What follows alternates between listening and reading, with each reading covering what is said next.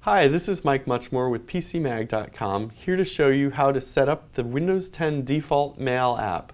The new app adds things familiar to mobile mail users, like the ability to swipe left and right on message entries to take actions on them.